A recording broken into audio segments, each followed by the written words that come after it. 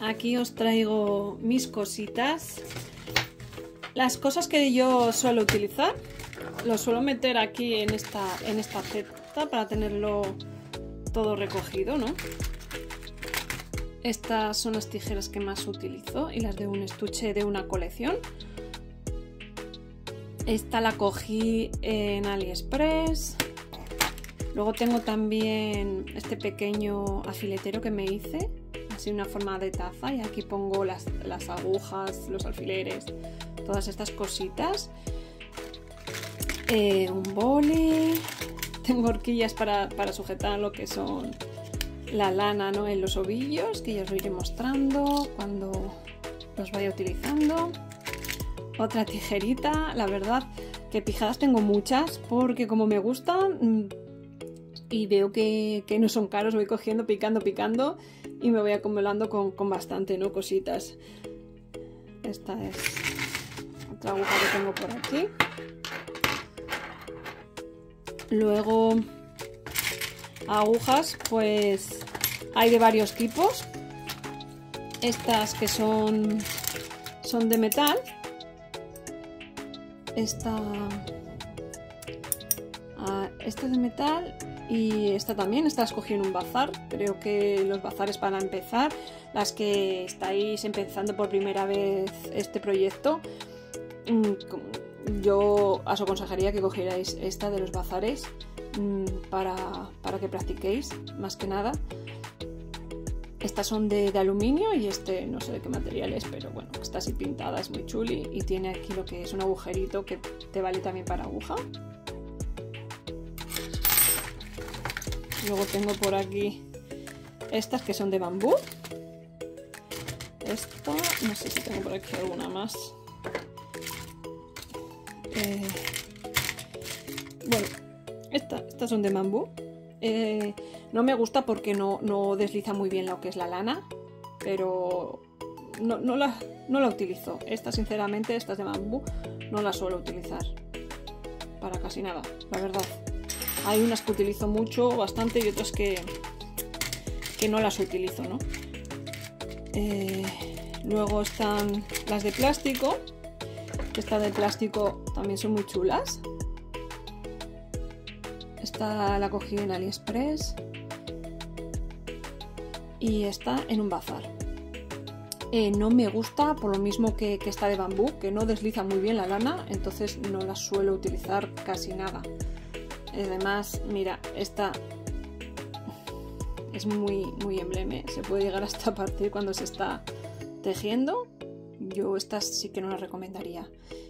Para empezar, yo creo que estas serían las más adecuadas desde mi punto de vista, ¿eh? que cada uno haga lo que quiera o, su bolsillo se lo permite o, le convenga. Eh, y estoy hablando para, las que estáis eh, pensando en empezar a, hacer el, el, crochet, ¿no? Luego tengo estas que son ergonómicas.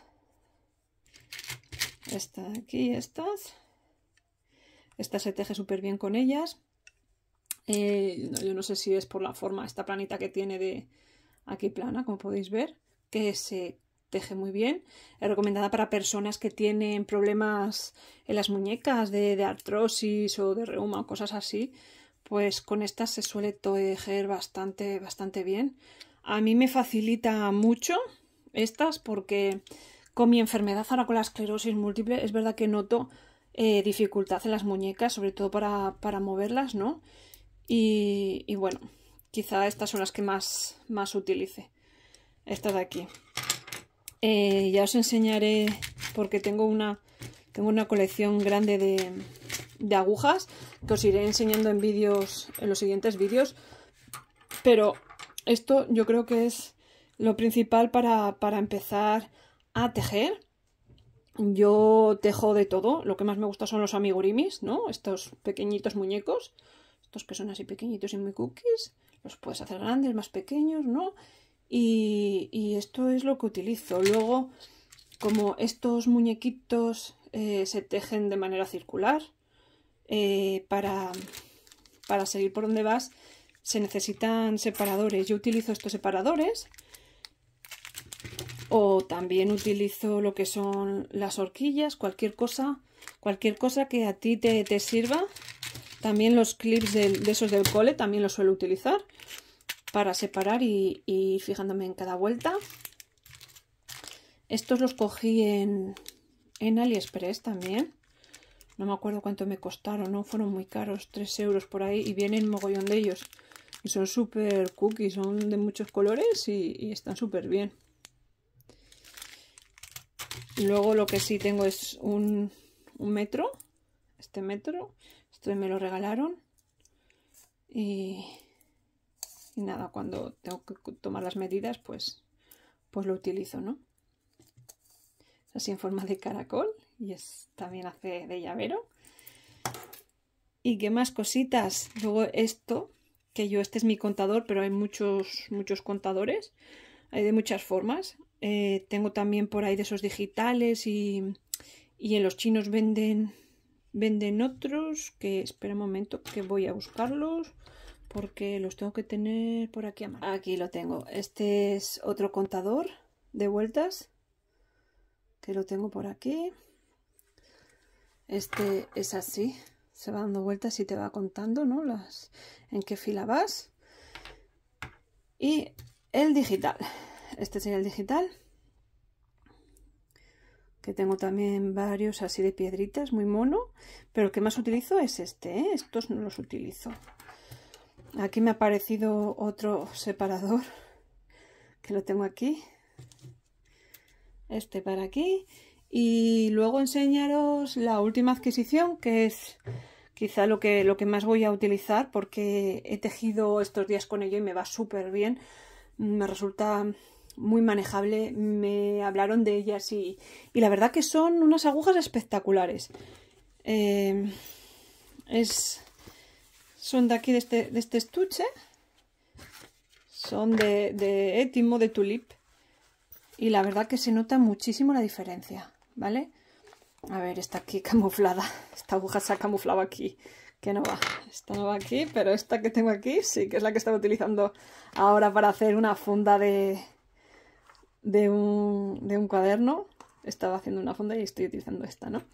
Pero esta para que veáis, que es de Tulip, eh, va súper bien por lo que sea. No sé si es esto, mm, la aguja en sí, o porque es ergonómica, se teje súper bien. Estoy enamorada de ella. Mm, llevo como dos semanas con ella y estoy súper contenta. Luego este estuche viene genial porque está aquí todo, todo guardado y creo que es lo que, lo que más voy a utilizar, ¿no? Estas tijeras cortan súper bien, que le haré también algún colgador, algún llaverito para tenerlo a mano y viene, mirar, con una regla. Viene con una regla con esta regla y con las agujas. La verdad que es un estuche muy completo. La única pega, pega que tiene es que es caro, es muy caro.